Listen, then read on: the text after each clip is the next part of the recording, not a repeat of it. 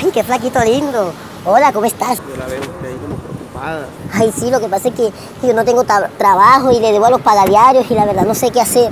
Pues yo le tengo la solución, le tengo el negocio del año. ¿Sí? el carro nuevo, ya. La vida le va a cambiar a partir de hoy si usted me acepta el negocio que le voy a proponer. Sí. Bueno, ¿y cuándo empiezo a trabajar? De una si usted quiere. Ay, bueno. Aló.